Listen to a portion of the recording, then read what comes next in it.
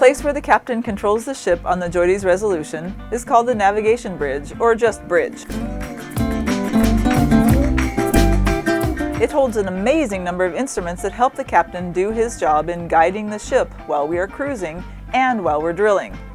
The bridge has the latest in technology with GPS, electronic ocean charts, radars, and satellite connections.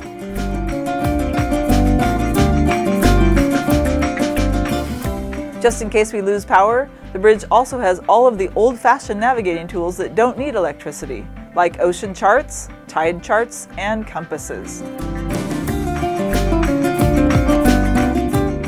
The JOIDES Resolution has drilled into the ocean sediments in many places all over the world to help scientists learn more about the Earth's past, its present, and the future.